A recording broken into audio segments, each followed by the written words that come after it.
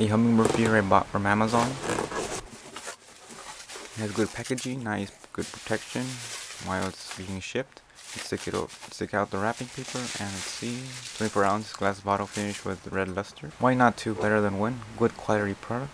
Vintage vase design, copper finish lid, and hanging loop. Four flower shaped feeding ports.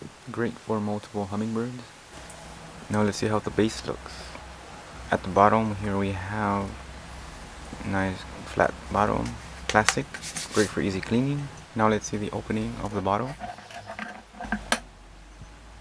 Bottle has a wide mouth for easy cleaning.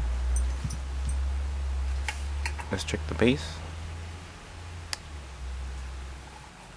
Let's say you want to clean it. So just pull it apart from the center. Pull it up, push it apart. Mm, you have to push it apart tight. Open it up. Here you have it. Metallic copper finish lid on top. Easy to clean. To clean it, all you have to do is use hot water and a bottle brush along with mild soap. Be sure to rinse thoroughly. Those are the simple steps to clean the hummingbird feeder. Good stress-free clean. To put it back together, all you have to do is put the two pieces together, press on the sides, nice and firm. Once you have that done, now you're ready to put it the bottle back into the base. Just the same way you took it out, just put it back in, twisting it